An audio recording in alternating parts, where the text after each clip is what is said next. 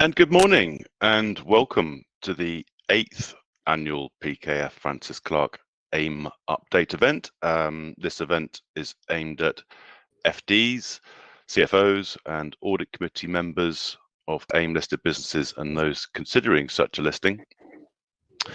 My name is Duncan Leslie, and I look after a number of such clients as audit partner and also second partner on uh, as a reviewer. I've been working in the AIM market and around listed companies for, well, longer than I'd like to admit, but maybe 20 years or more, um, both at the top end, where clients move up to the main market, but also some that are struggling a little bit more than than we would all like. Um, Those that have reasonably recently entered the market, um, and of course, everything in between as well.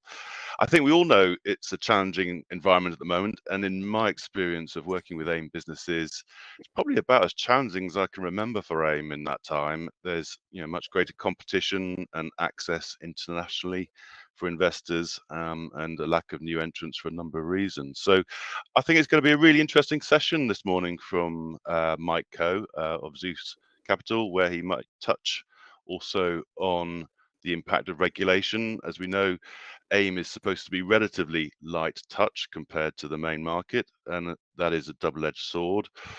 Regulation is obviously helpful, but also costly. Um, and that then will lead us on to our guests from the FRC, led by Jonathan Compton, who will be discussing with us um, what they are seeing under their corporate reporting review. So I hope that sets things up nicely for you.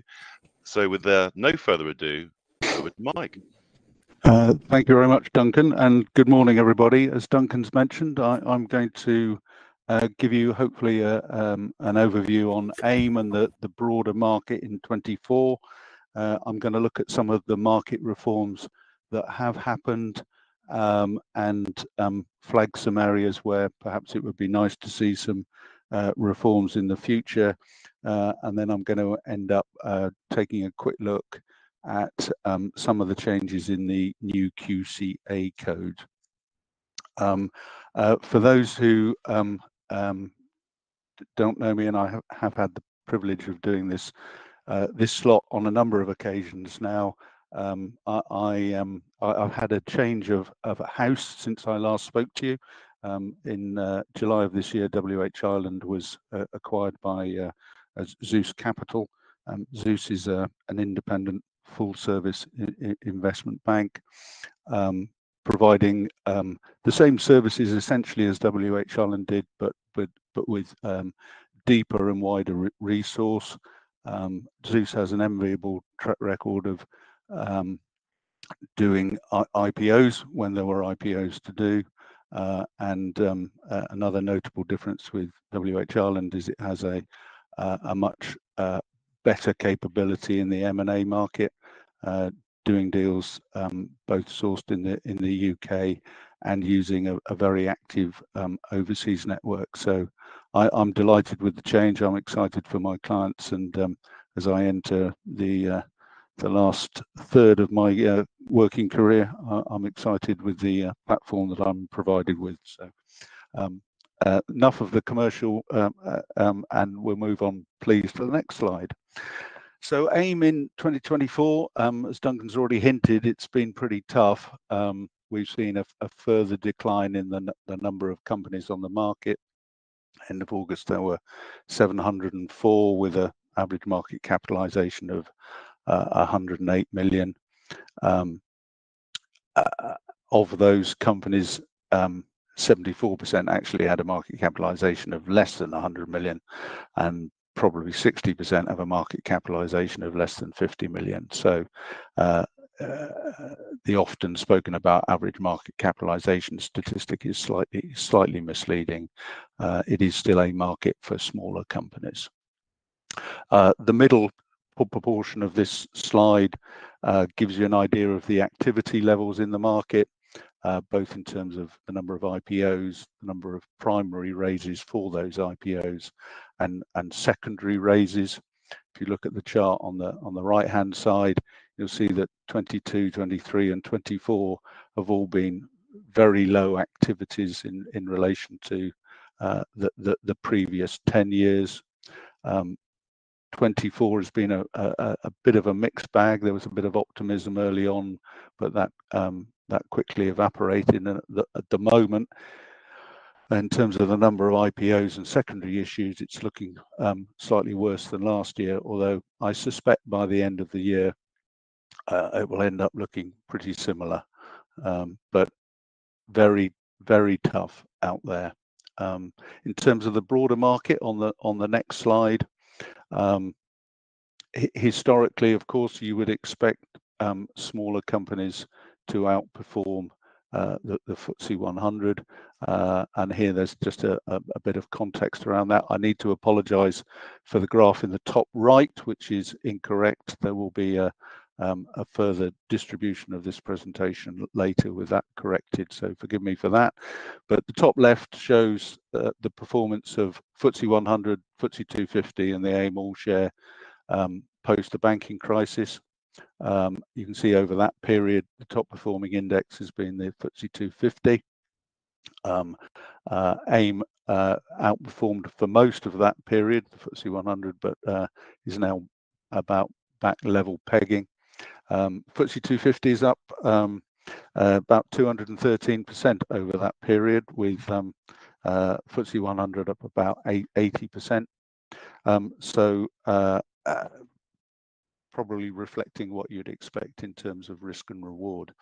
Um, Post-COVID, um, what you might expect had, has actually reversed. So the FTSE 100 has been the, the top performing index uh, since since COVID, uh, and particularly as the, the markets have gone have gone risk risk off, um, and and that post COVID um, chart there, bottom left, is reflects exactly what um, the opposite of what you'd expect.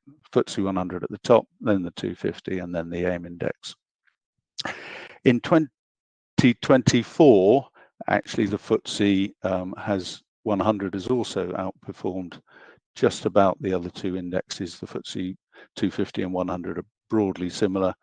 Actually, since I last spoke to you uh, last October, the, the FTSE 250 is up 13% compared with about uh, 9%, 7, uh, sorry, 7% in the FTSE 100. So we're starting to see um, uh, uh, investors looking for value further lower down the food chain, as it were.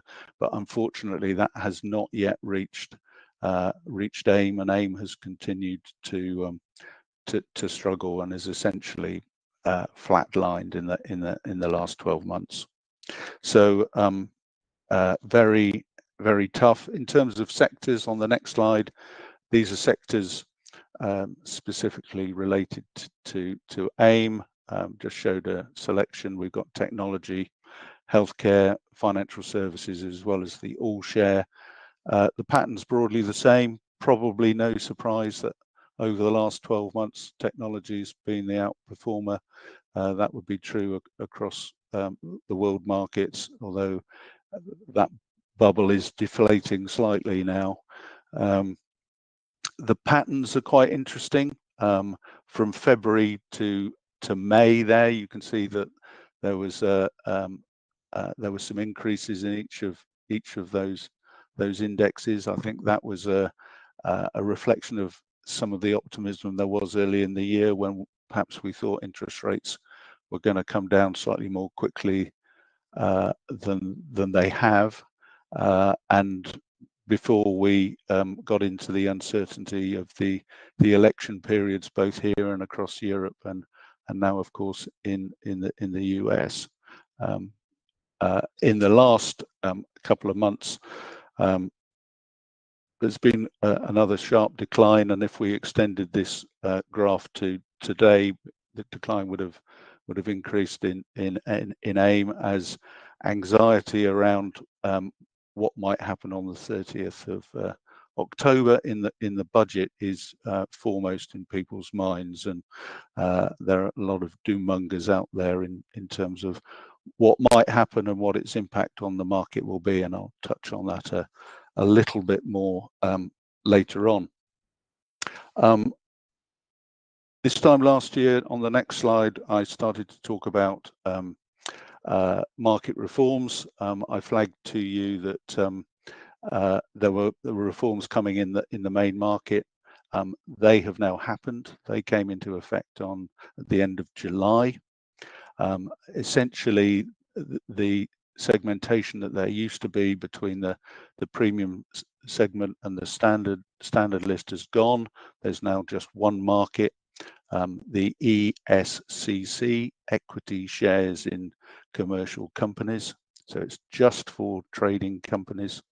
Uh, to be on that market, you've got to have a market capitalization of uh, greater than 30 million. Um, and with that new market comes a revised rulebook that has relaxed a lot of uh, the previous rules. So changes include um, uh, shareholder votes are no longer required for um, significant um, transactions. Uh, they are required for reverse takeovers, but nothing below 100% of your existing size requires shareholder approval any longer. Um, shareholder approval is no longer required for related party transactions. Um, that now adopts an AIM model where you need a, an independent director uh, um, accredited by a, a, nomad or in this case a, a sponsor that, that, the transaction is fair and reasonable. Um, the free float requirement has been relaxed um, uh, and there's greater scope for controlling shareholders, although um, if you have a controlling shareholder, you must be able to demonstrate that you're able to carry on your business independent of, of, of that shareholder. Um, very significantly, um, there's no specific financial information required, i.e. you don't need a trading record any longer. Um, and all of that has resulted in a, a modification of what uh, sponsors need to do and, and uh, uh, when they're required. So you're not required to retain them, you never have been, but there's certain activities um, that require you to engage a sponsor to to to, to liaise with the FCA. Uh, the number of times that's now required has, has gone down, which will reduce the cost for companies. Um, you are still required to get shareholder approval for certain things, including buybacks, um, uh, non-preemptive share issues uh, that are outside uh, accepted authorities, um, employee share schemes, uh, longer term incentive plans. And of course, you uh, not only you've got the regulation, but you've got the reporting requirements. The reporting requirements, uh, you're required to uh, ad adopt the UK corporate governance code and comply on it or explain your compliance in respect of that code. And you've also got to meet the reporting requirements of uh, the climate and diversity disclosure requirements. So, but the effect in regulatory terms is to uh, uh, significantly reduce the differentiation um, with, with, AIM. So where does where does that leave leave AIM? Um, on the next slide, we'll see um, that, that, there's been um, uh, you know, the background here is AIM has been a market that's been supported by effectively government tax incentives through EIS relief, VCT relief, um, uh, business property relief for, for entrepreneurs, uh, and and inheritance tax. Um, as I mentioned earlier, there's a lot of concern that there could be changes to some or all of those taxes. If there are, that could lead to volatility. Um, that would then be in the context of a market that's uh, that's already reducing, where we've already got challenging IPO market that's being stifled by all sorts of factors, uh, macroeconomic and geopolitical being amongst them. Um, and we've been in a situation where there have been continual outflows of money that the institutions have to invest um, uh, over the last few years. Through the last four years, have seen net outflows of funds available for investment. Um, so, you know, the backdrop to the market is fairly gloomy, uh, and there have been um, a lot of parties uh, trying to lobby for for changes. That would include the the stock exchange and, and the QCA. Um, we've also seen a couple of papers recently come from uh, Peel Hunt and, and, Grant Thornton pointing out the importance of AIM to the UK economy uh, in terms of business creation, job creation and, and growth uh, and pointing out that actually uh, the AIM market fits very well with with the, the government's desire to create good jobs and productivity growth in every part of the, the, the country. So, um, you know, the, the theme here is that AIM is um, has been a successful market and it, it deserves, deserves continued and, and now, in fact, enhanced support. Um, how do we get that support?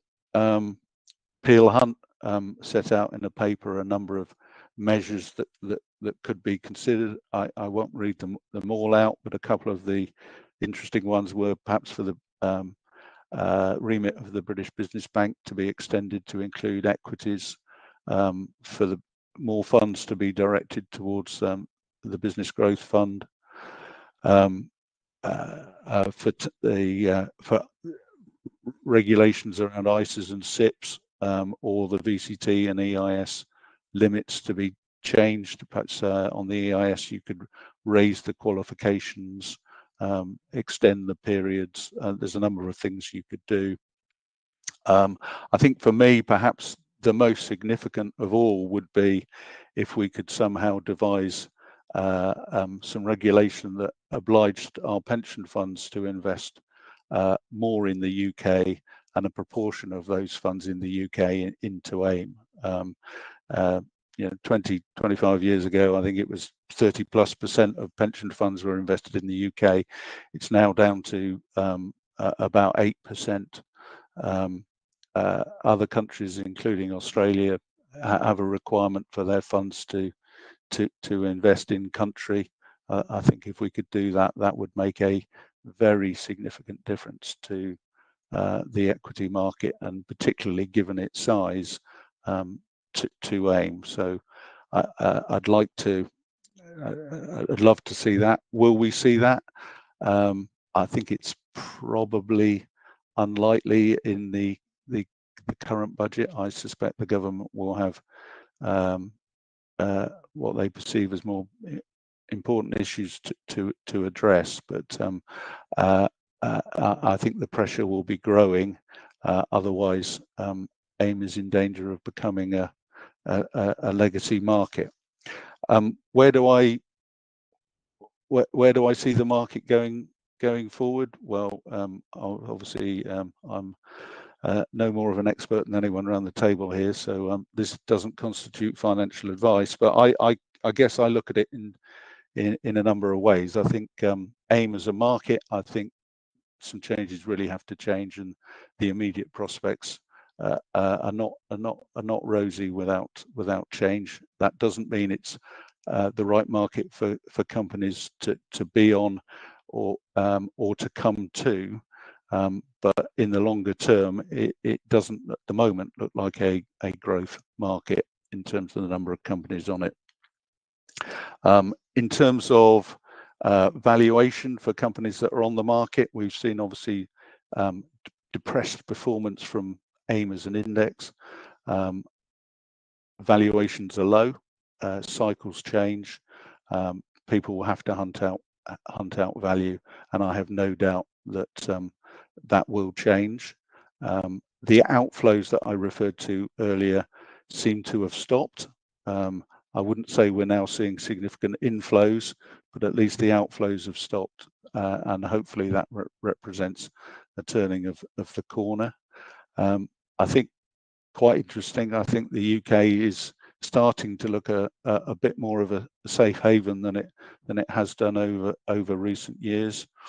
Um, uh, problems in in in Europe with the rise of uh, the far right issues in the states. I, I think uh, the UK is looking more attractive. The pound strengthening.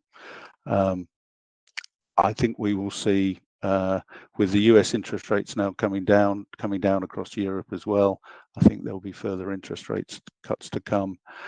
And I think regardless of what happens in the budget, I, I, think what the markets have been craving over the last few years is some stability and certainty. Uh, and I think the budget will give that. And I, am optimistic that once we, at least we know where, what the position is, um, we can get on and fund managers can invest, uh, private investors can invest with some confidence and we'll see uh, a recovery in, in, in markets. So that, that's my my my hope on on valuation. Um, finally, I wanted to touch on um, the QCA code. 93% um, of AIM companies adopt the QCA code. Um, uh, the new code um, uh, is now applicable, it starts for years commencing after the 1st of April 24. There is a 12-month transition provision available. Um, interestingly, the QCA have just written um, to us, probably written to lots of people, uh, pointing out that uh, lots of companies who adopt the QCA are not members of the QCA uh, and haven't even uh, acquired a copy of the code from the QCA. Uh, so I think there might be some pressure on those who who, who, who haven't yet invested in that document to, to do so. You don't have to be a member of the QCA to get the code. You can separately purchase it at a very reasonable cost, I think of about 450 pounds, but uh, uh, they're certainly on, on that at the moment. So what does the new um, code look like? Uh, it's very similar to the old code, to be to be frank. The changes are quite nuanced, um, but that doesn't mean they they aren't uh, significant or won't cause you ad additional work. There's been a, a, a, bit of rejigging of the principles. The numbers of uh, the principles have cha changed around. A couple of principles have merged, but there is only one new principle, and that's in relation to remuneration, which uh, pretty much follows the, the, guidance that was previously set out in their their remuneration committee guide. Um, it, it, it's not rocket science. I think it's probably what most people do anyway. Um, the board should establish a remuneration policy that promotes long-term growth and shareholder value. Policy should be simple and easy to understand. I think we all recognize that. Um, similarly, appropriate incentive targets should be set. Um, here, here's a bit you might want to take note of. The annual remuneration report and policy should at least be put to an advisory vote um, of shareholders uh, uh, each year. Uh, and again, I've, put this one in bold because I think this is worth noting. Uh, new share schemes and long-term incentive plans should also be put to a shareholder vote. That hasn't been a requirement on AIM. It's been good practice, but not a requirement. But I think now you would be expected to do it. Um, in terms of um, the other changes, um, uh, there's some themes running through them. Um, uh, first theme is really the purpose and culture. So principle one uh, now sets out that the company needs to state its what it calls its essential reason for being. I think we all need to know what our essential reason for being is, but um, and the company's business model, strategy, and objectives should then flow from that core purpose. Um, remuneration should align with that purpose, strategy, and, and, and culture. Um, second theme is environmental and social considerations. Environmental responsibilities are now explicitly referred to in Principle 4. Um, Climate-related risk are specifically uh, referred to in Principle 5. Um, the requirement that existed for boards to keep up to date and have the necessary skills and experience uh, is still there, but it's been in, uh, uh, expanded to say those skills and experience should also include addressing sustainability and climate change issues. Um, amazingly, um, amazing that it wasn't there before, the workforce has now been identified as a, a key stakeholder. Uh, and another particular one to note as a, um, a matter of good order, um, board composition, independence, diversity. Uh, shareholders should be given the opportunity to vote annually on the election of all directors to the board. Uh, I know there have been some early adopters of that, but I, I would suggest that most companies are still on the, the one third retiring by rotation uh, as required by their articles. The QCA code is now saying all directors should be re-elected. So that's something for, for everyone to note. Um, and I think that's about my allotted time and I'm I'm done. Very happy to take questions at the end of the session, but uh, I hope that's been relatively clear. Thank you. Yes, thank you, Mike. And yes, just to say, if anyone does have any questions for Mike, very happy to take those now while it's fresh in your mind, or if you do need some time to um, uh, to think about what those might be, then Mike will be around at the end, as with all our speakers. Um, but if you do have any questions now, then please don't be shy. And while it's fresh in your mind, I just thought I'd give you a chance before we do move on.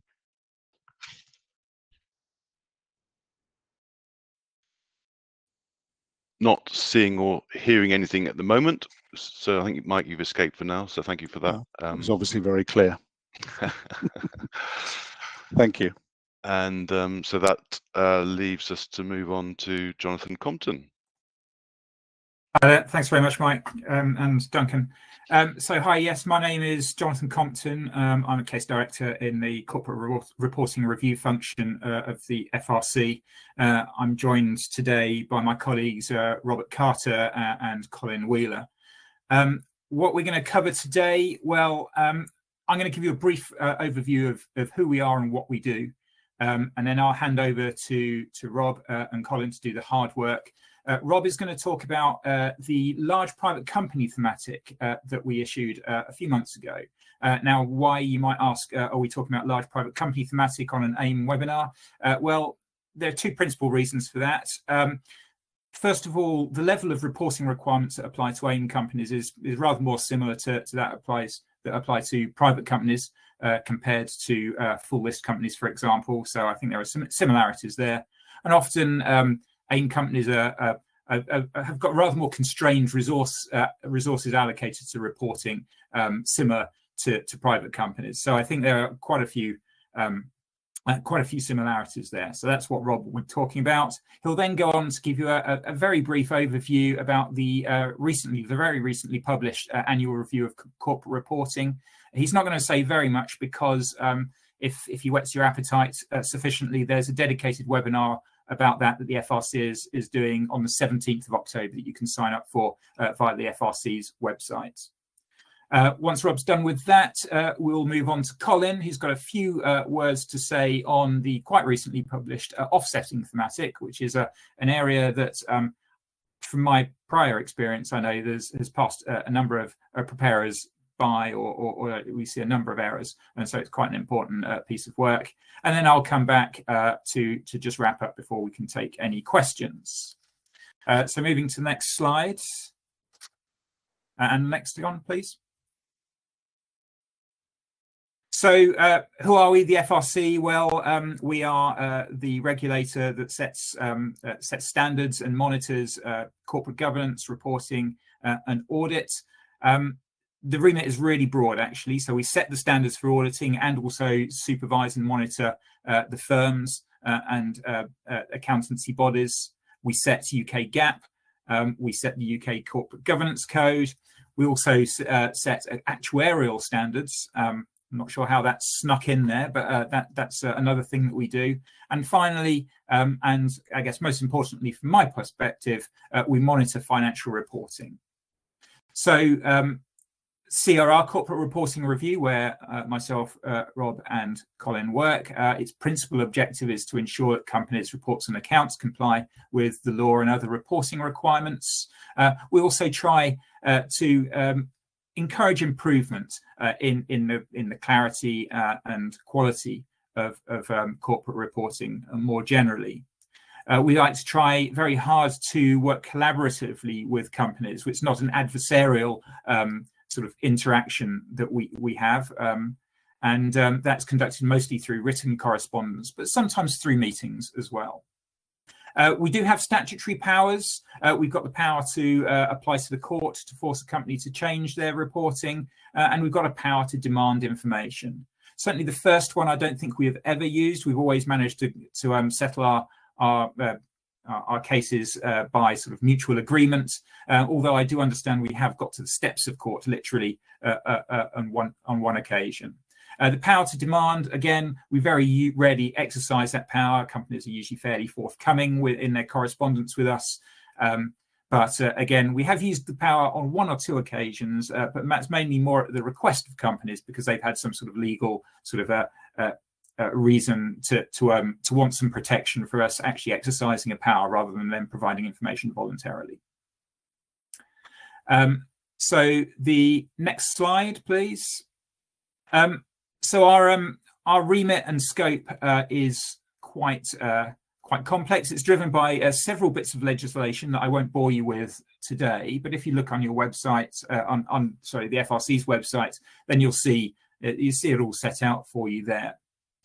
But broadly speaking, we cover uh, companies that are listed on the main market, both premium and standard listed companies.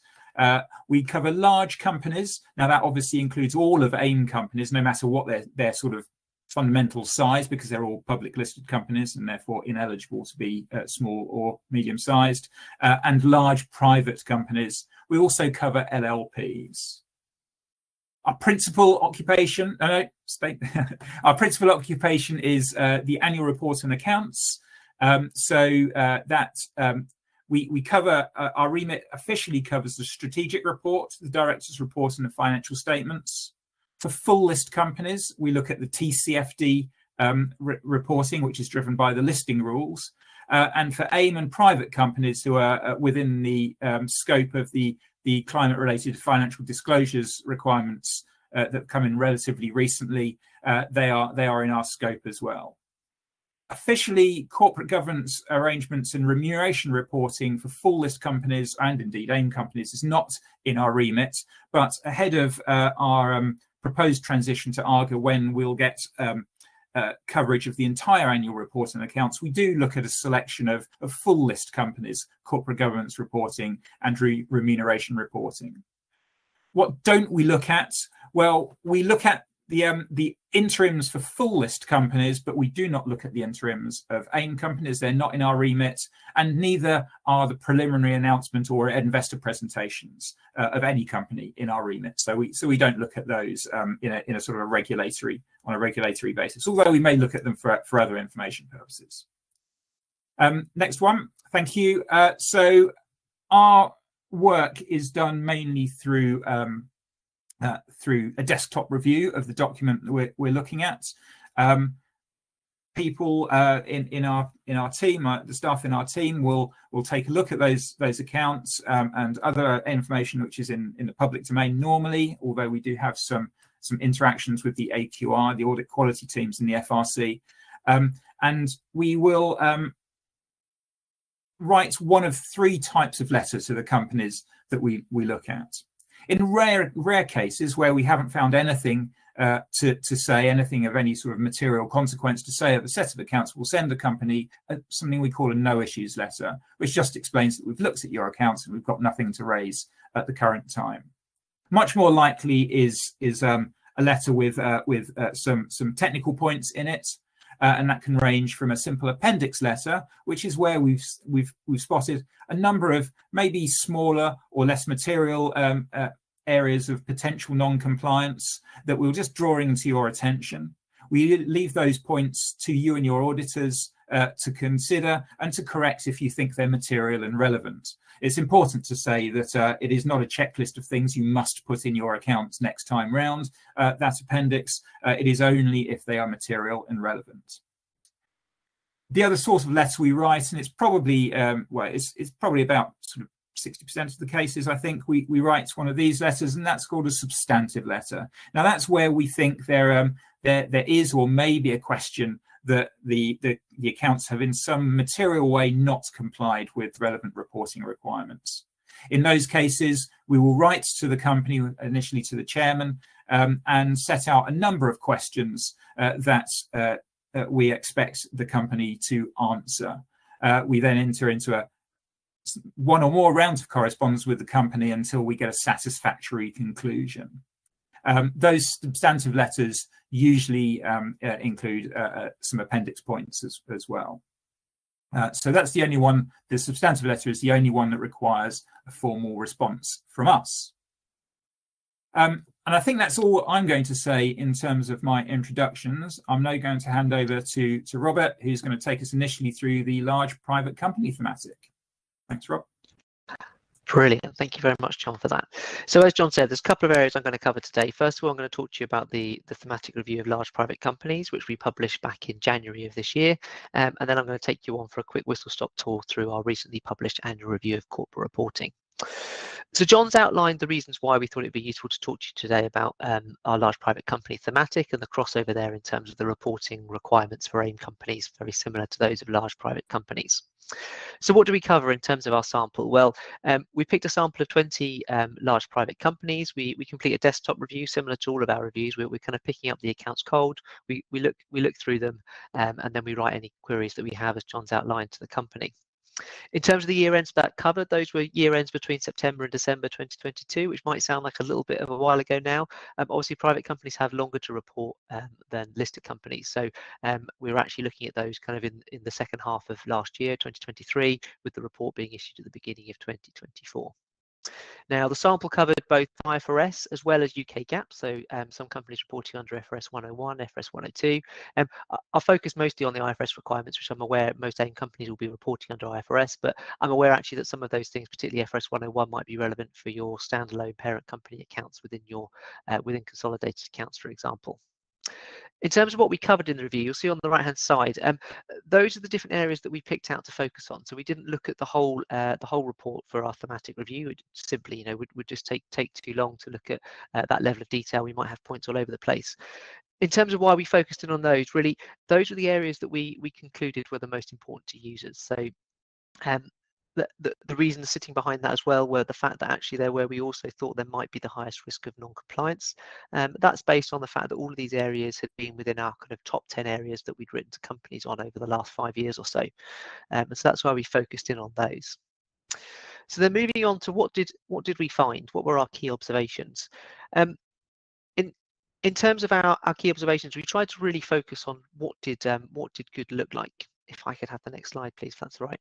Um, we tried to focus on on on what on what the best quality reporting was across our samples. So our overall message was the quality of reporting was mixed. We saw some really good examples at, at the top end, and we also saw some examples that fell perhaps quite a long way below what we would have expected. Um, so there was a real mix there, and that was particularly in, in terms of how well some of those really key issues were explained. So um, really, um, you know, the better examples really focus in on those matters that were kind of material and particularly important for users of the accounts in terms of what they're going to be focusing on, particularly where there might be, you know, complex judgments or estimates involved. Those were explained, um, you know, nice and clearly in terms of uh, in terms of the reporting. Um, one thing we found from from some of the points that we picked up and we wrote to companies about was actually many of these issues could have been avoided by kind of a really good pre-issuance review, you know, a critical review of the annual report and accounts before they're issued. I'm sure all of you uh, that are listening today um, go through those kind of procedures. But you know, we're picking accounts up cold. We're spotting the same things that somebody can pick up if they just want to pick up a set of accounts. And sometimes uh, we know what it's like when you're, you know, in the midst of preparing an annual report and accounts. Um, sometimes you just need to take that step back and have a have a think about actually, you know, have we really covered the key things here? You know, have we made them clear and concise? Um, have we really focused in on the things that users are going to be uh, going to be focusing on, and have we made sure that there's consistency um, across the different areas of the of the annual report and accounts? So if I move on to my my next slide, um, so in terms of some of the key observations around the strategic report, you know, it, it's again it's drawing on that theme in terms of you know really focusing on those, those elements that were key for an understanding for users um, so we're making making sure that you know the, the strategic report was clear and concise and understandable um, and also the consistency with the financial statements. It's, it's one of the things that probably drives most of our points that we raise, um, or quite a few of the points that we raise with companies, is where one part of the annual report says something different to somewhere else. You know, the financial statements say one thing, and actually the, the, the blurb in the in the strategic report is saying something slightly different in terms of messaging, which seems inconsistent. Um, so it's just making sure again, it's taking that step back to make sure that that all makes um, that all makes sense. Something I'll stress here, and you, you'll see it again coming through in the annual the annual report that we've issued recently as well. Good quality reporting does not necessarily require greater volume and thinking about what that really means, it, it, means actually, you know, some of the best examples we saw were far from the longest strategic report. It's very easy sometimes. I think people want to put more and more and more and more info in, but actually, you know, it's really focusing on what are those particular transactions, events, or circumstances that a user's going to be interested in, and making sure those are nice front and center, uh, and then perhaps omitting some immaterial information that, that users might not be so interested in. Um, so it, we're not trying to encourage companies to just put, you know, longer and longer uh, strategic reports we're already aware how much the annual report has grown over the last 10 or 15 years. Um, we're really asking companies to focus on, on those key issues that they should be, uh, that users are going to be interested in. In terms of um, in terms of some of the other points that we we highlighted, um, if we move on to the next slide, please. Um, the first point here you'll see about explaining the nature of the company's operations. Now, the sample we looked at of large private companies, there was a range of different companies. So quite a few of those were preparing consolidated group accounts. There was also some companies that were preparing standalone accounts. So perhaps they were consolidated into an overseas um, an overseas group further up the chain, or in, or in one or two instances, they were just kind of standalone companies. Um, what we found was actually, you know, in, in one or two instances in particular, it was very hard to understand what that particular company's role or function was within their group. Um, and so uh, actually they could have benefited from a bit more explanation around the wider group structure. In fact, in one instance, it was hard to actually understand how the, the particular company was generating revenue. We could understand how the group worked and what the group did overall, but it wasn't clear how, how this particular company fitted into that. And obviously it's a standalone set of accounts under UK requirements. They should have been explaining that in terms of um, revenue, you know, clearly revenue was was uh, was an important area to look at for all of the companies. The the main things we found that, that differentiated between you know an okay or perhaps a poor example and a really good example was often in the revenue policies. So um, you know it's about having a policy that's tailored to the um, about policy that's tailored to the company. So it's making clear you know the nature of each of the revenue streams. You know focusing on the material streams. Okay, you know we do X or Y or you know we we've got three areas of our business and this is how we treat each of these different streams it explained clearly the timing of recognition. So, you know, being aware of the of the requirements of the reporting standards, IFRS 15, if you're under um, IFRS, you know, at what point is revenue actually recognised, and also how is that revenue measured? Um, you know, thinking again, you know, in terms of IFRS 15, you know, is there a constraint on when we can actually recognise that revenue? If so, at what point do we feel that that constraint has been has been removed and we can recognise the rest of the revenue? So, as I say, the best policies really um, really explained that um, explained that well. On the top right here, you've got you know about other policies, our general finding of accounting policies was was trying to encourage companies to just kind of avoid boilerplate or, or untailored policies particularly again for those those uh, transactions that are going to be of significant focus. So you'll see this graph in the bottom right. Then it's actually come straight out of the thematic. It's really encouraging you to think about in your next reporting in terms of actually which are the areas that are particularly complex and judgmental, and of those, which of those are significant, either quantitatively or qualitatively, that users are going to want to focus on for those things that are kind of ticking both those boxes, that top right area of the graph, those are the areas that we really think companies should focus on. And again, we saw some really good examples of really kind of well-tailored policies that explain, look, this particular estimate is, is really quite complex.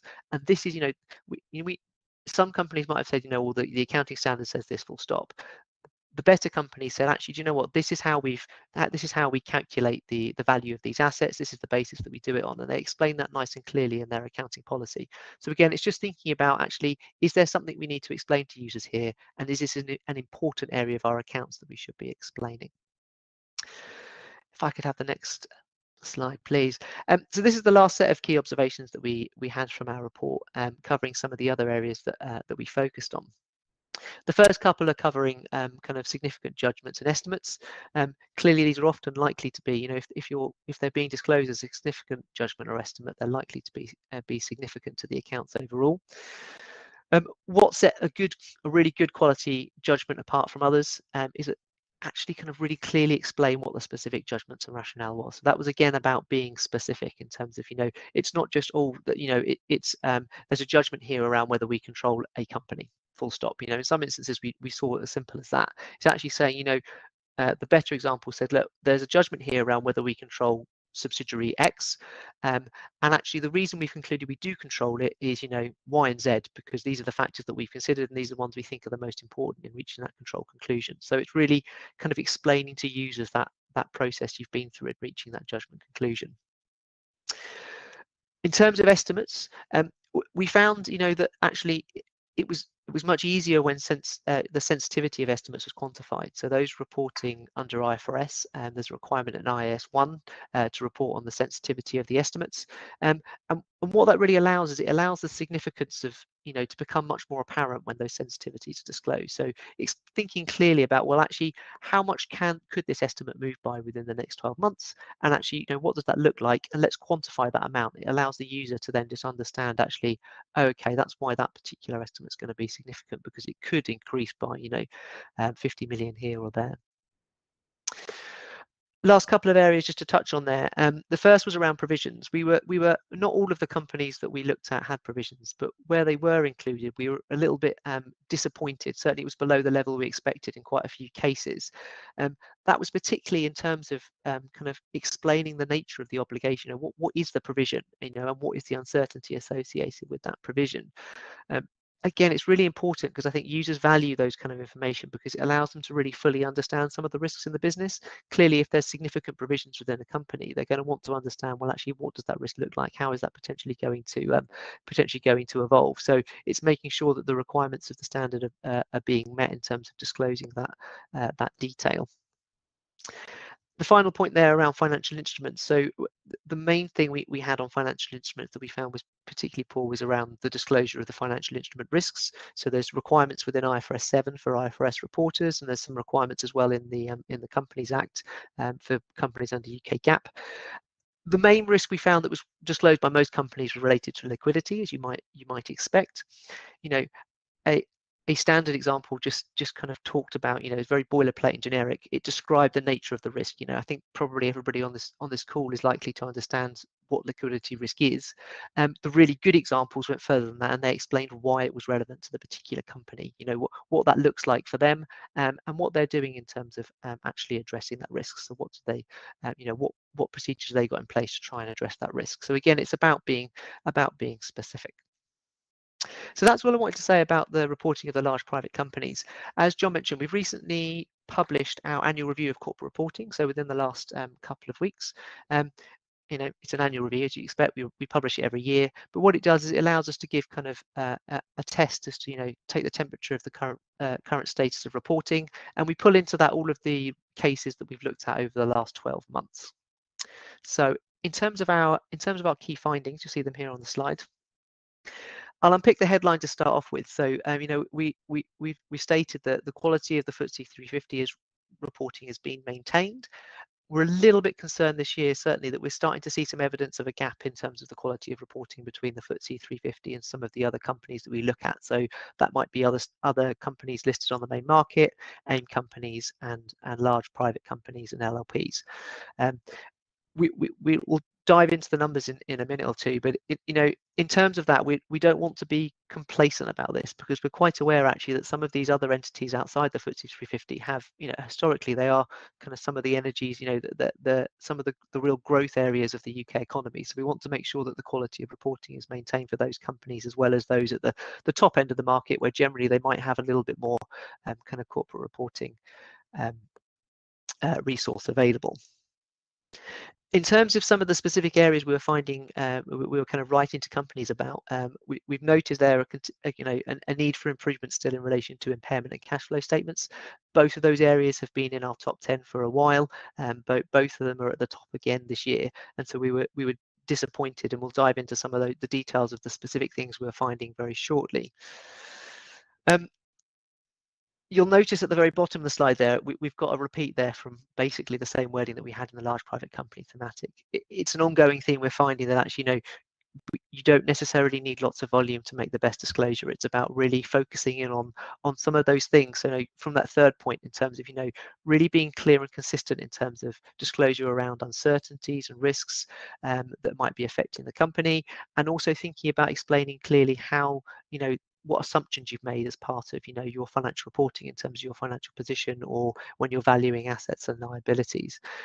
We're aware that you know some of the inflation driven uncertainties might have just just come back a little bit over the last the last few months but you know that there remains other other factors still in terms of you know concerns about low growth within the economy and some of the other geopolitical risks going on. So we think it's really important that companies are are, are being nice and clear on those factors in terms of climate-related reporting, I'll touch on it later on in terms of the CFD requirements, which apply to some uh, some companies on the AIM market. But if I could have the, the next slide, please. So uh, this here just kind of illustrates in numbers uh, the reviews. So those, those boxes at the top show the total number of queries we've raised with companies.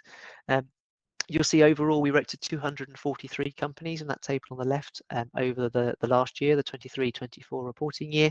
Um, and of those, there was 115 companies that we wrote to with substantive letters that John explained. That's where we asked the company to kind of write back and explain to us how they'd applied reporting or disclosure requirements. the thing I think that we're, we're, we're concerned here, which kind of drives the, the, the differential here, is you'll, you'll see that, you know, in for FTSE 350 companies, only 28% of, of, letters written to those resulted in a substantive letter, whereas 61% for those outside of uh, the FTSE 350 had a substantive letter.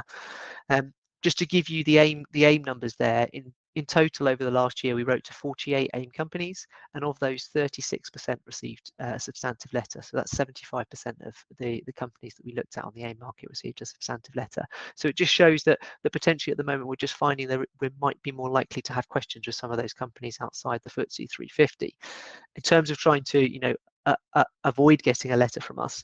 It's about focusing focusing your reporting, making sure that you're explaining some of those real um, key estimates and uncertainties. In terms of the um, the bottom uh, the bottoms, and I'll just say actually, you know, overall we that gives you know a right rate of 47% substantive letters. Will be clear that we don't have you know kind of a target in terms of the rate we want to write to at companies. Um, throughout the whole process, we're trying to apply um, a proportionate approach, really focusing in terms of whether or not things are are material. And as I say, we're kind of considering that every stage of our work. Um, so it's not like, oh, we've got to write to X amount of X amount of companies. We just want the quality of corporate reporting to kind of constantly be uh, be improving um, in line with the accounting standards and other requirements. Um, the bottom section here uh, refers to required references, which, which essentially are where companies have had to make restatements following our interaction. Um, not every restatement that a company might make is, is uh, leads to a required reference, these are generally where there's been kind of a significant aspect of reporting that's been uh, been impacted. Most often it will be a restatement of a primary statement, but it might in some instances be some other kind of significant disclosures that are relevant to a company. And what we ask the company to do is we ask them to refer to their discussions and correspondence with us um, in their note about the restatement, just to highlight the fact that actually the reason they're making the restatement is coming out of our, our review. You'll see that the total number of companies with required references has been fairly stable over the last three years. There was 26 um, this year. However, again, you, will notice a slight trend there that actually, you know, the, the number of required references for FTSE 350 companies has been trending downwards, whereas the, the number for other companies has generally been uh, trending upwards as well. Um, in terms of um, AIM companies, actually, have, of those 26, 12 of those required references related to companies on the AIM market, um, of which the focus of those match very much. You'll see on the right-hand side, you've got the, the split there in terms of uh, the main reasons for the restatement. Um, seven of those 12 for AIM companies related to cash flow statements, and we'll, we'll talk a little bit more about what those might be in a minute, um, with the other ones mostly relating to uh, changes to other primary statements or impairment, particularly impairment in relation to uh, parent company investments in some of their subsidiaries. So what does um, what does our top 10 look like this year, which is normally the thing that people are most interested in?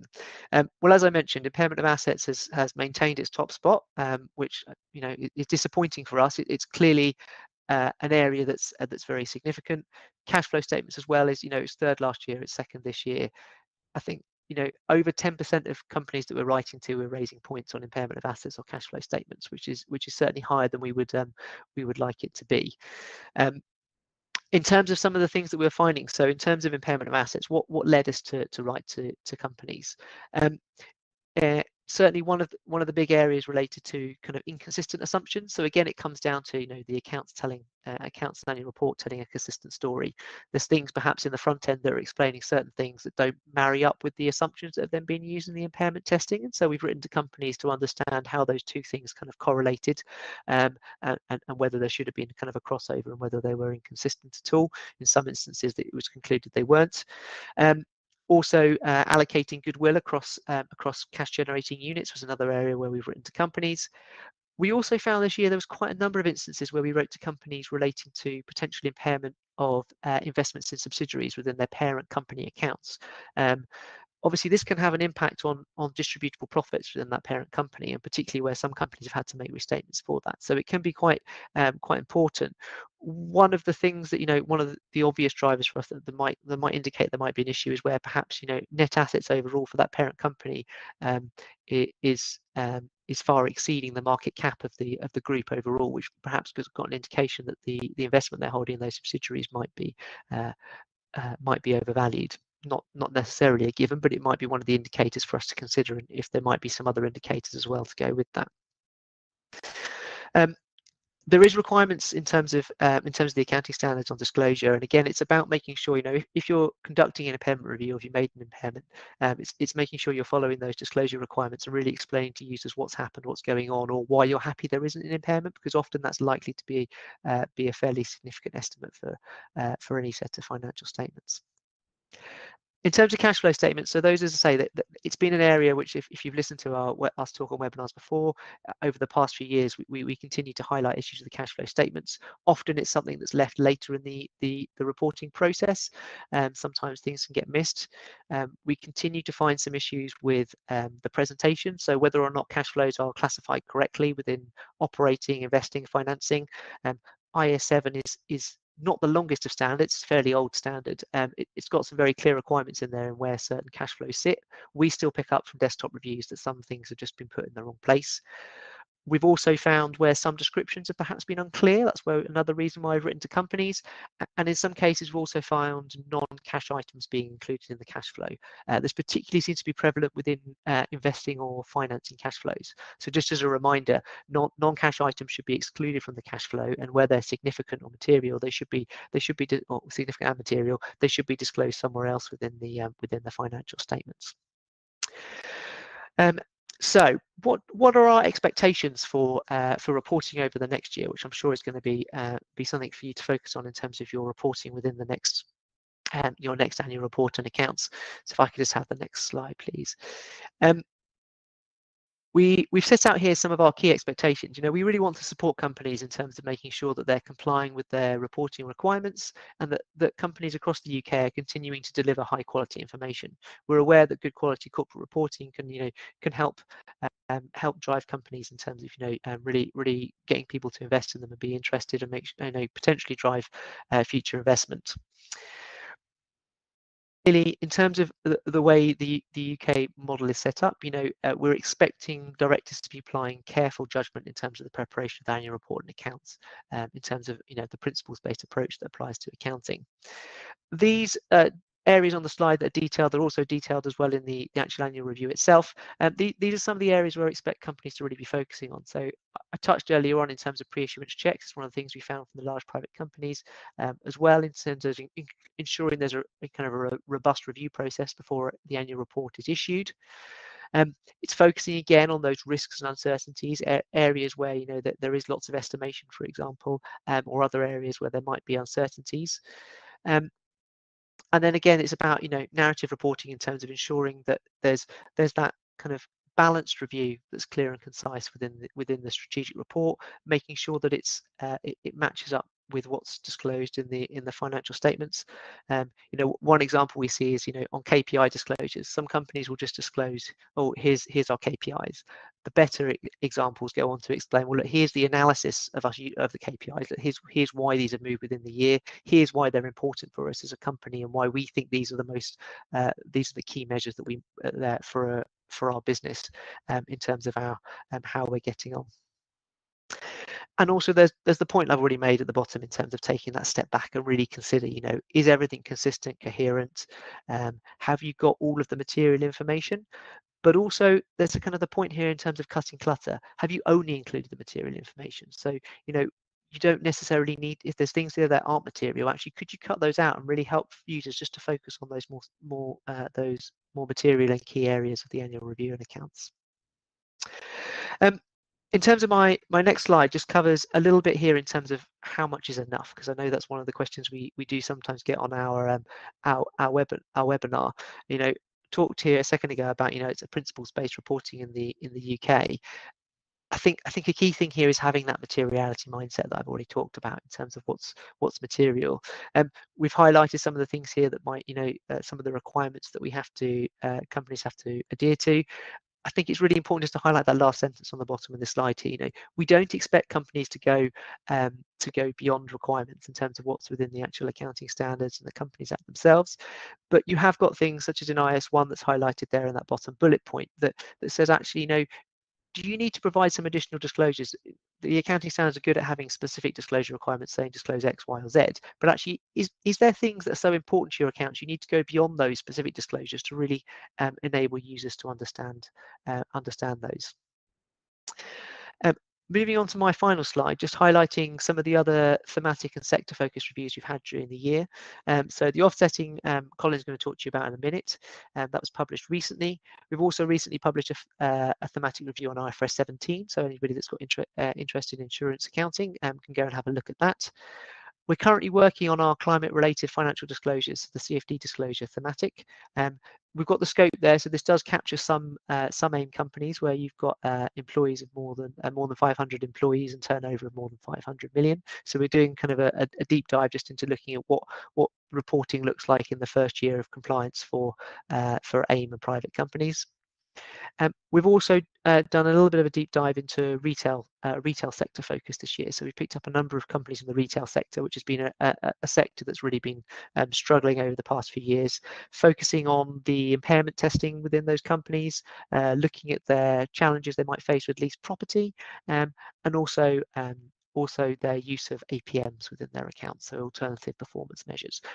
The findings for those weren't published in a separate thematic, but instead they've kind of been given their own separate section of the annual review. So if you're interested in those, go and um, go and check those out and have a look. That's all I wanted to talk about in terms of the annual review. That was, as I say, a whistle stop tour. Don't forget there is there is a FRC thematic on the 17th of October. But I'll hand over now to Colin, who's going to take you through the offsetting thematic. Great, thank you very much, Rob. uh, good morning, everyone. So I'm going to quickly walk you through uh, some of the key themes from our offsetting thematic. Now, note this is offsetting in the financial statements. This is not uh, any uh, offsetting to do with sustainability reporting like uh, carbon offsets. Um, next slide, please.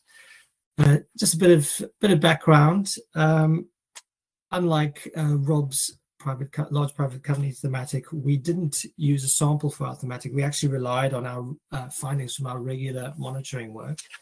And uh, when we looked at it, uh, there's a diagram on the right-hand side which shows where the practical application issues on offsetting come up. So just a note, what is offsetting? It's when we combine essentially dissimilar items into one line item in, in the balance sheet. So where we saw issues come up, IFRS generally prohibits this um, and allows it in certain instances. So we had issues where offsetting was not being applied appropriately, uh, particularly around uh, cash flow statement, uh, financial instruments, um, particularly I'm thinking about cash pooling arrangements and provisions. These were some of the, the, the, the heavy hitters in, in offsetting. And just why why does it matter? Why did we think uh, it would be good to do something on offsetting? Uh, there's a there's a few reasons, but I think one of them is if companies get offsetting wrong, it can affect key metrics such as uh, covenant ratios, efficiency uh, ratios. Um, and also we realized that there was, there was quite a few issues going on with offsetting across different standards, and none of these were really new. These these requirements have been around for a long time, and we were finding companies seem to be getting them wrong, um, even in simple cases. Um, one of the reasons could be that the requirements differ across different standards, um, and I've actually got a diagram on the next slide, which will just hopefully kind of summar, summarize that for you. Um, uh, yeah, I, I, think before I get onto this diagram, just to maybe note that um, when we looked at the population of offset, where offsetting issues were rising, we didn't really find any specific size of company or industry where offsetting issues were more uh, were more common.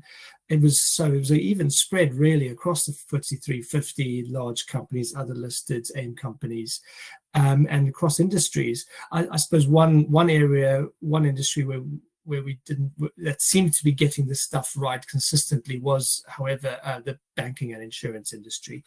So if we have a look at the next slide. Um, this what this tries to do is bring a, a, number of the offsetting requirements into one place um, at the top of the slide in the in the navy blue, we've got the general prohibition on on offsetting, um, which is you can't do any offsetting unless it's required or permitted. There are some other reasons why one could do offsetting, but that, that that's the main that's the main premise.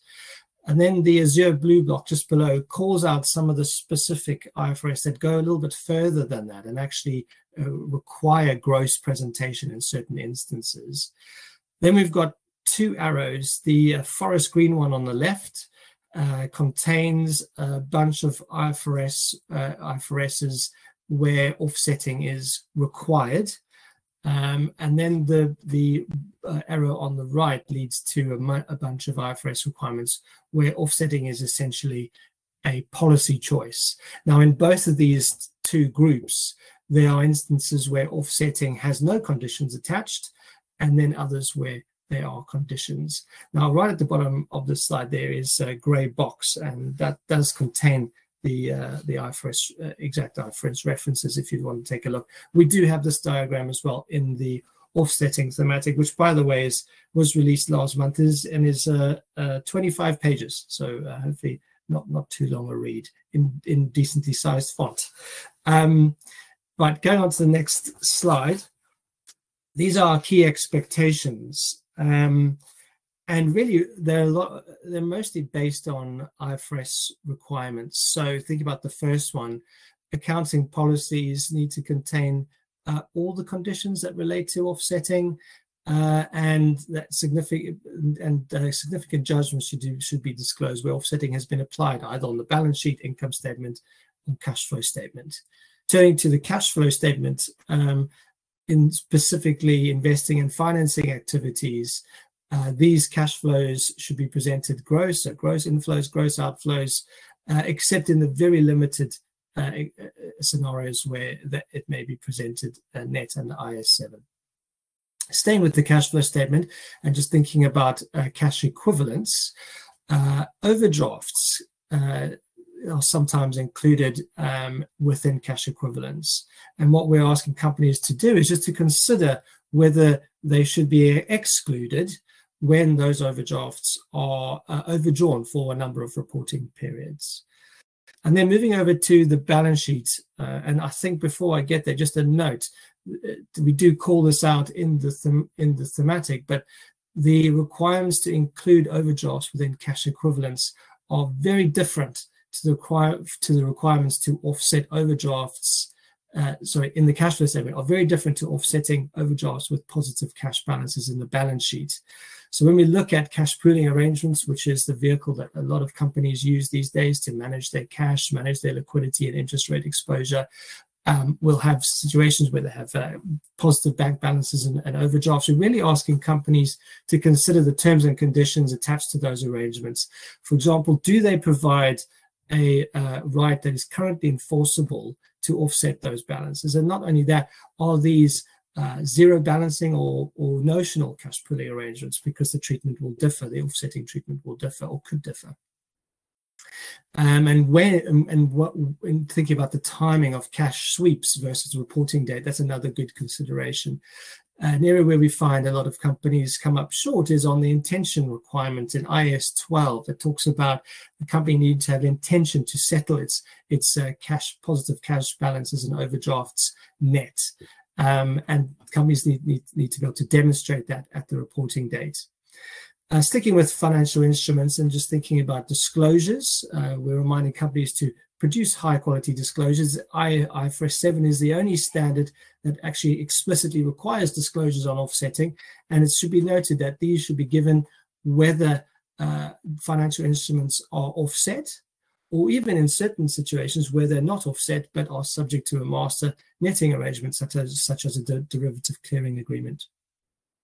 And finally, just looking at the provisions, um, we have a, a, reminder just for companies to present their any reimbursement assets separately from the provision and uh, to disclose any contingent assets related to reimbursement rights if it meets the uh, requirements under IAS 37.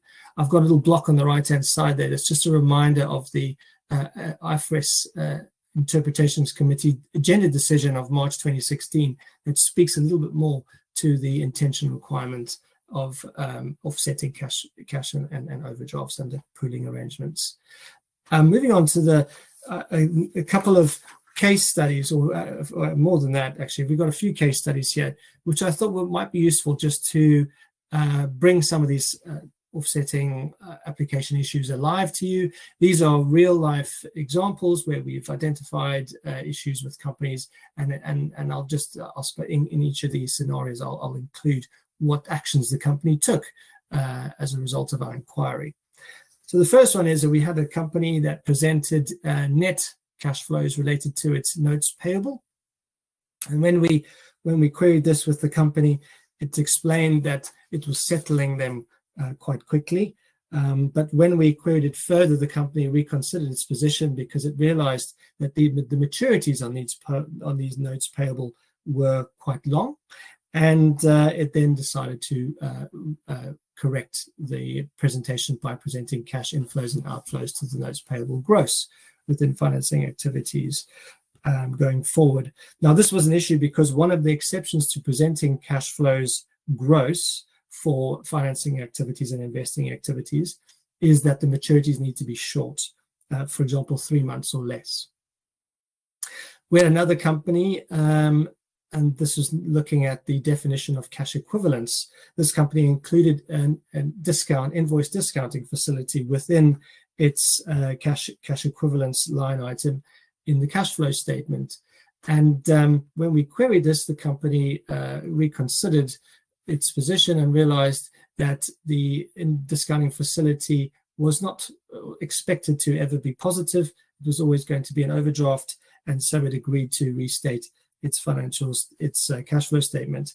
Now, this was an issue because overdrafts can only form part of cash and cash equivalents in the cash flow statement when the balance fluctuates from being positive to being overdrawn. And there's an uh, again, there's a, a IFRIC agenda decision um, that highlights that requirement. Um, then looking at the balance sheet now and cash pooling arrangements, the, we had a company that had an overdraft in, in the parent company's accounts. And when we looked at the consolidated accounts, we couldn't see any overdrafts and there was no disclosures around offsetting. So when we queried this with the company, it uh, said that although it had a right to offset the overdrafts with positive bank balances through a, a, a, cash pooling arrangement that it had with the bank, that it could not demonstrate the intention to settle those balances net because it has it had used those balances for operational purposes after the reporting date. So that company also then agreed to uh, restate its fund, its balance sheet to present the cash and overdraft balances gross on the face of the balance sheet. And this was an issue because uh, companies uh, can only offset amounts, uh, overdrafts and positive bank balances in the balance sheet when there is an in intention to exercise a legally enforceable right to offset the period in bank balances. And then finally, just looking at the provisions, um, there was we had a company that uh, in the front end uh, spoke quite confidently about uh, its ability to uh, get reimbursed through insurance contracts for certain claims, uh, for certain provisions that that it had. But then when we looked in the in the back end of the accounts, we were unable to identify a reimbursement asset or any contingent asset disclosures. When we queried this with the company, it uh, came back to, to inform us that it had in fact offset the reimbursement asset against the provision and agreed to uh, restate its its balance sheet as as a result uh, to present the reimbursement asset separately from from the provision. So uh, yeah, th hopefully that's uh, helping some of these uh, issues alive to you. Um, and yeah, please look out for our thematic, which was released last week. That's it for me. Over to you, John. Thank you very much, Colin. Um, so if you just move on to the next slide, I've only uh, got uh, one and a half slides, let's say, left uh, for, for, my bit before we move on to questions. But actually, I'll deal with a, a question we've had in um, uh, just uh, uh, just during while we were talking, um, which is just asking about um, the, the time frame that is is allowed for response to any letters you might receive from us. Um, so, as Rob said, we um, we uh, write in excess of 200, uh, well, we review it in excess of 200 uh, sets of accounts each year. Uh, and on average, um, let's say sort of 40, uh, 40 50% of, of those companies will get a substantive letter from us, more in the AIM company as uh, AIM company market, as as Rob said. Um, if you do get a, a, letter from us, we do ask um, that you try to respond to us within 28 days um, of, of receipt. Uh, now, if if that is uh, if if that's a problem for you because perhaps you know it, it may may hit during a holiday uh, season or a, a reporting uh, a point a, a, reporting crunch point or or our questions may be particularly complex um, we we are reasonable people. So just just communicate with us and and uh, say uh, when you'll be able to get it back to us. And generally we are we'll accept um, a, short a short delay uh, in, in your response uh, and I just wanted to say something uh, about the, the nature of the letters that um uh, that uh, or the, the, way you should write back to us. As I said, we we try and we try and answer things. Um, uh, we try and have a collaborative uh, relationship with with you, and um, I think it's in everybody's interests to to to get the um, to get the case settled within the shortest number of sort of letters as as possible. So um, it may it, what I've got on the slide here isn't exactly um, uh, uh, rocket science, but um, but it is it is really important. And I know from when when I was on the other side of the table at the firm at a firm uh, advising our clients on on how to um to to respond to FRC uh, queries, I, I, had to really underline this, um, and that is uh, answer the question that that the FRC has asked in our in our letter, uh, not the question you wish they may have asked or that you think they should be answering uh, you should you should be answering uh, because um, if if we don't get the the response uh, you know, direct response really to to our question then then we will have to come back uh, and ask it again uh, in maybe a, a, different way so so that's my top tip is just make sure you are answering the questions we're asking um, be candid um, if you think that there, uh, if, if if you have done something wrong, don't don't defend a lost cause. Uh, admit it and say how you're going to to put it right. Because the majority of our um, our cases are closed uh, through a, a prospective um, uh, correction. So either through a PPA in the next set of accounts or, or just putting things right in the next set of accounts. Um, it's worth also pointing out that in in many cases, at least, um, the underlying accounting uh, that we are questioning isn't isn't isn't wrong. Um, so it is often a matter of clarity. We've obviously um, asked the question for a reason, and that's often because we just didn't understand what was going on. We couldn't find enough information in the accounts to, to persuade us that the things were right. Uh, and so uh, often companies uh, come back and say, we've done it right for these reasons, but we will clarify it uh, going forward. So um, I think I think they're my top tips uh, in in terms of, of letters there. Um, so if we can just move on to my final slide, and this is just going back to um, uh, uh, re-advertising the, the, the publications that we've been talking about today. So the annual review of corporate reporting, which has got uh, the statistics that, that Rob and I have just mentioned about how many companies we'd write to, uh, and a lot more information on on the nature of of the inquiries that we've made to companies. Uh, that's available right now on the uh, FRC's website, as is the largest private company thematic uh, that we published um, at the beginning of this year, uh, and also the offsetting thematic that uh, Colin has just spoken about and was was published uh, uh, a few weeks ago. Uh, so I would very much recommend you go and have a have a look through there. We we tried very hard to make them accessible documents, and so you may well learn something and at least um, see what what is more likely to to sort of um, uh, precipitate a, a, letter from us if, if you don't uh, if you don't do it. Um, and then finally, uh, one final plug for uh, our webinar, the FRC's webinar on the annual review of corporate reporting, where we'll go into a, uh, a little bit more detail than, than Rob has been able to give you today. Uh, and that is on the 17th of October. And again, you can sign up to that on the um, FRC's website. Uh, and that's me. So back to you, uh, Duncan. Thank you, John and uh, Rob and, and, Colin from the FRC team. Um, I can see that the the Q and A chat function is working. So if anything, if anyone does have any any more questions for the team or for Mike, um, he spoke earlier, then you know very happy to take those. I'll give you some ch a chance to think about those. Um, I did have some some thoughts as the FRC team were coming were talking actually, and if I might start with uh, Colin, if if that's okay. Just uh, you talked about offsetting um, and covered a lot of areas actually, probably more areas than you that initially come to mind. But the one that came to mind for me was income taxes and taxes as a category. So I just wondered if you were seeing offsetting issues in in that area and what they might be. Yes, yeah, no, that, that's that, that's a good question. Uh, income tax is, an area where we're seeing offsetting, particularly issues, uh, particularly around uh, deferred tax. uh, sometimes these things aren't aren't material, but when it when it is material, we we, we take an interest. Um, and what we've seen is we've seen instances where companies have uh, offset deferred taxes when they're operating in multiple jurisdictions, and all of all balances have been have been offset. And we're seeing you know what one one number on the balance sheet. Uh, so, so so that's going to be an issue um, because uh, one of the requirements in IAS 12 is that the uh, the you can only offset if they're related to the same tax jurisdiction.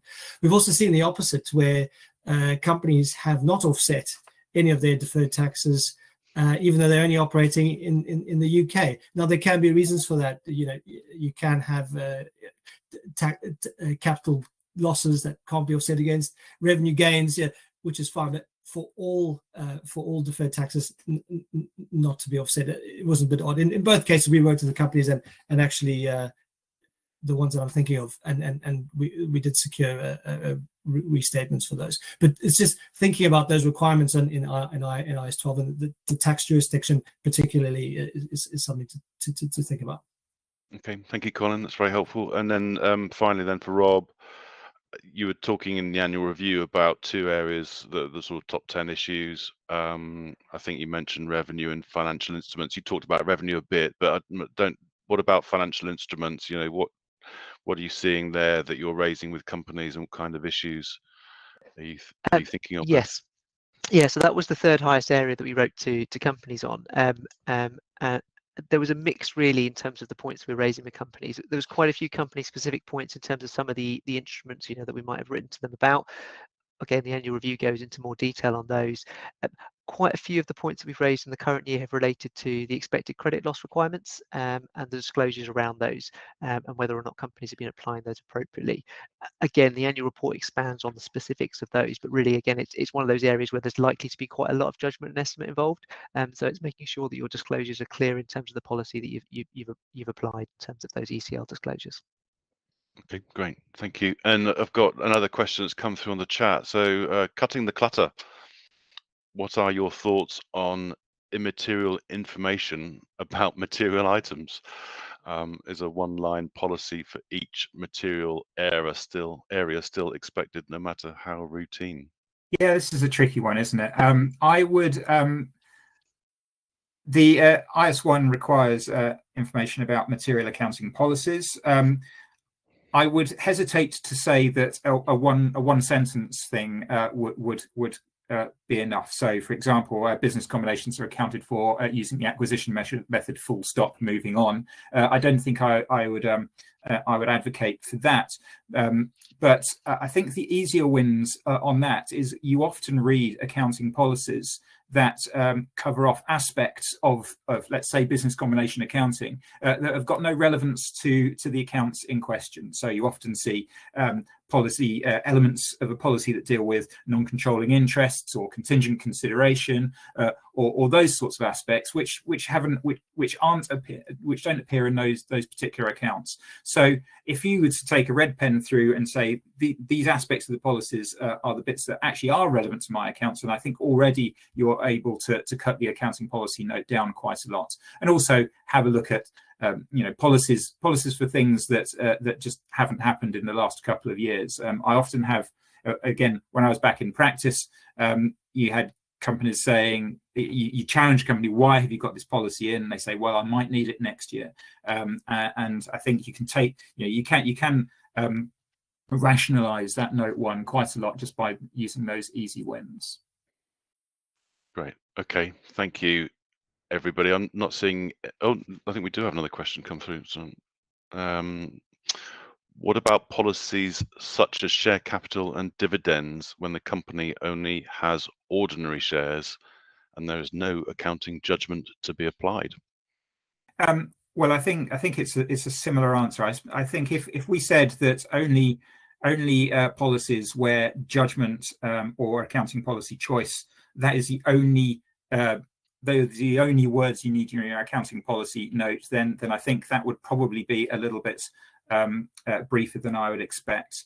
Um, but again, you don't you don't need you don't need more than a couple of lines for most of those things. I, I don't think you'd be receiving a letter from us if you didn't have a share capital uh, accounting policy. I, I must say. Um, but but um, you know, it depends on on the um, you know, uh, on, on the exact facts and circumstances of the company and the materiality of the balances as well. Yeah, I think the point I was making when I talked originally about accounting policies was that the areas where we don't expect to see kind of generic or boilerplate policies is going to be those areas where you have got more significant judgment estimation and it's also kind of quantitatively or qualitatively material. Um, so that that's really that's the focus I was trying to drive towards. So if that didn't come across, that's that's what we're aiming for. So it, for those areas, it's not having that boilerplate or generic policy. Okay, so what we the, the thought process is um, if it's going through your head that there might be some judgment involved, then perhaps write more, and if there isn't, then don't. That's right, and uh, and if your um if your company's circumstances are a little more unique, then then you might need a little bit more, and that is often the case. For example, for a revenue policy, because every business does things slightly differently, and that's where we might expect a little bit more color. Uh, whereas PP&E, for example, um, you you you you perhaps um, be able to pare that down a little bit more just to the bare minimum. Okay, thanks, team. Um, time's moving on. Um, I do want to give uh, the attendees chance to ask Mike a question as well, if anything has come to mind. Just a quick reminder. Um, Mike talked about the market outlook for AIM, issues facing AIM as a market full stop, ideas for reform.